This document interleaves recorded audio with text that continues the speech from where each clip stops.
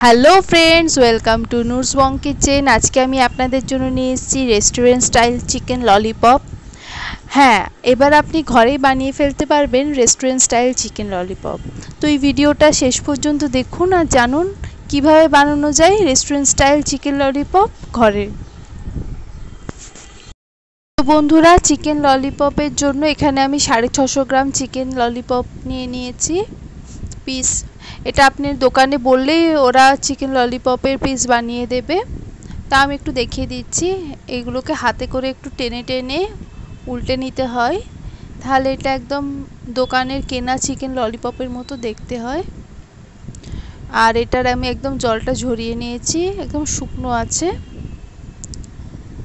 তো এবার আমি এটাকে ম্যারিনেট করব। তার জন্য যে মশলাগুলো লাগবে সেটা হচ্ছে two table spoon soya sauce two table spoon vinegar আমি এখানে হোয়াইট ভিনিগার ইউজ করেছি টু স্পুন জিঞ্জার আর গার্লিক পেস্ট এখানে ওয়ান স্পুন জিঞ্জার আর ওয়ান স্পুন গার্লিক পেস্ট আছে। আর এখানে ওয়ান স্পুন গোলমরিচ গুঁড়ো নিয়েছি আর ওয়ান স্পুন লঙ্কা গুঁড়ো নিয়েছি। আমি এটা অ্যাড করছি। আর এখানে আমি টু স্পুন কাশ্মীরি লাল মির্চ পাউডার নিয়েছি। এটাতে কোনো ঝাল থাকে না। এটা কালারের জন্য নিয়েছি। এতে খুব সুন্দর একটা কালার হয়। আর হাফ স্পুন লবণ নিয়েছি। আমি প্রথমেই হাতটাকে ভালো করে ধুয়ে নিয়েছিলাম। এবার আমি হাতে করে এটাকে মেখে নেব। আপনারা চাইলে চামচ ইউজ করতে পারেন মিক্সড করার জন্য। এটাকে মিনিমাম আধ ঘণ্টার জন্য ম্যারিনেট করে রাখতে হবে। তাহলে এটা ভেতর পর্যন্তই মশলাগুলো চলে যায় আর খুব বেশি টেস্টি হয়। আপনারা যদি চান দুপুরে লাঞ্চের সাথে এটা খাওয়ার জন্য যদি হয়, তো আপনি আগের দিন রাত্রেও এটা ম্যারিনেট করে রাখতে পারেন। ওভারনাইট ম্যারিনেট হলেও এটা খুব বেশি টেস্টি হয়। তার জন্য ম্যারিনেট করে এটাকে ফ্রিজে রেখে দেবেন। আর যদি রাত্রে ডিনারের জন্য থাকে, কি ইভিনিংয়ে স্টার্টারের জন্য থাকে, তাহলে আপনি সকালবেলাতেও ম্যারিনেট করে ফ্রিজে রেখে দিতে পারেন। যখন এটা আপনি বানাবেন, তার আগে এতে একটা ডিম মিক্সড করে নিতে হবে। তো এটাকে আমি হাফ অ্যান আওয়ার ম্যারিনেট করছি। বন্ধুরা, আধ ঘণ্টা হয়ে গেছে এটা ম্যারিনেট করা। এবার এতে আমি একটা ডিম অ্যাড করে দিচ্ছি। দিয়ে এটাকে আমি মেখে নেব। এটাকে আমি হাতে করেই মেখে নিচ্ছি। হাতে করে মাখাটা বেশ ভালো হয়, তাই জন্য আপনারা চাইলে চামচ করেও মাখতে পারেন। এটা আমি মেখে নেব, দিয়ে আমি এর ব্যাটারটা তৈরি করে নেব যেটাতে ডিপ করতে হবে। ডিপ করে এটাকে আমি ফ্রাই করব। তো ব্যাটার বানানোর জন্য এখানে আমি একটা আলাদা বোল নিয়ে নিয়েছি। তো প্রথমে আমি এখানে four table spoon cornflour add করব। হাফ কাপ ময়দা,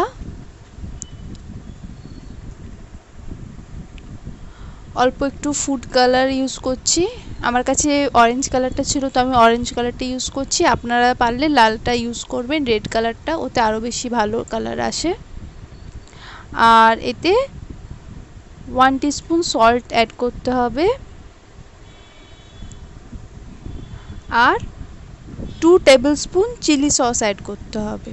তো প্রথমে আমি ব্যাটারটা হাফ কাপ জল দিয়ে, অল্প অল্প করে জল দিয়ে আমি এটার ব্যাটারটা বানিয়ে নেব। তারপরে এতে আমি চিলি সসটা অ্যাড করব।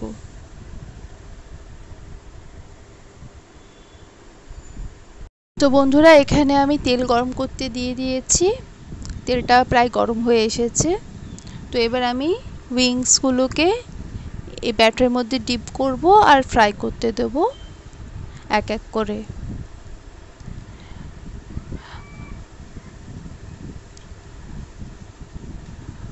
তো আমি এক এক করে উইংসগুলোকে এতে ডিপ করে নিচ্ছি, দিয়ে ফ্রাই করতে দিচ্ছি। আমি ফ্লেমটাকে মিডিয়ামে রেখেছি, মিডিয়ামে এটাকে আমি ফ্রাই করব। কেননা যদি আমি হাই ফ্লেমে রাখি, তাহলে এটা বাইরে থেকে খুব সুন্দর তাড়াতাড়ি একটা গোল্ডেন কালার চলে আসবে।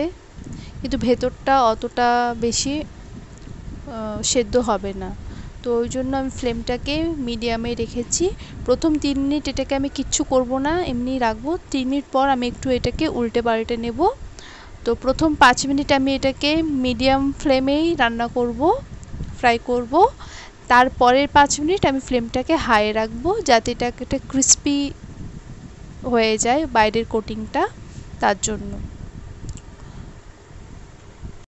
তো বন্ধুরা, তিন মিনিট হয়ে গেছে। তো এবার আমি এটাকে হালকা হাতে একটু উল্টে পাল্টে নেব।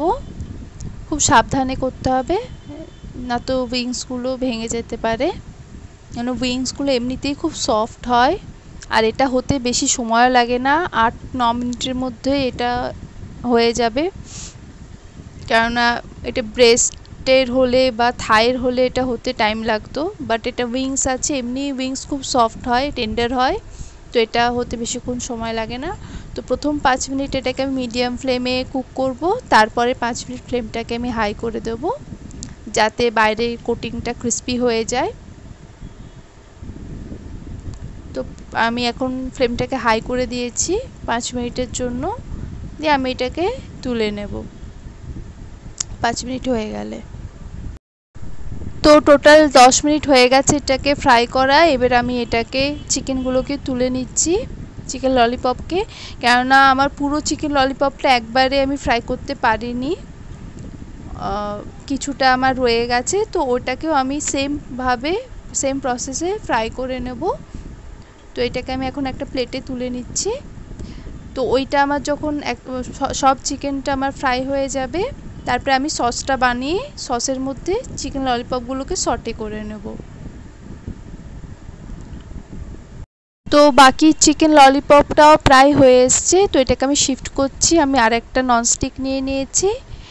তো এতে আমি প্রথমে ওয়ান স্পুন তেল দেব, তারপরে আমি four table spoon ketchup add করব।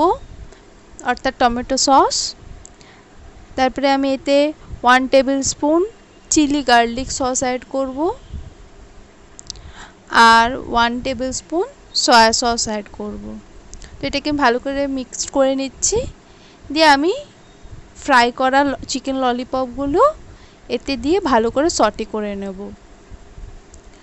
খুব সাবধানে এটা করতে হবে যাতে চিকেন ললিপপগুলো ভেঙে না যায়। তো এটা যেটা আগে ললিপপগুলো ভেজে রেখেছিলাম, ওগুলো আমি প্রথমে দিয়ে দিচ্ছি। আর যেটা এখন ফ্রাই হচ্ছে, ওটা অলমোস্ট হয়ে এসছে, ওটাকেও আমি এতে দিয়ে দেব। দিয়ে এটাকে আমি ভালো করে সটে করে নেব, ভালো করে মিক্স করে নেব, যাতে সসগুলো চিকেন ললিপপে ভালো করে মিক্সড হয়ে যায়।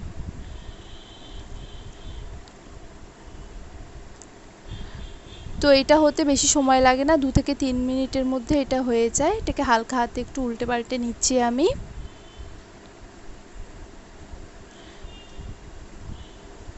তো এবার এটা হয়ে এসছে, আমি এবার গ্যাসকে অফ করছি। এটাকে আমি সার্ভিং বলে সাজিয়ে নেব।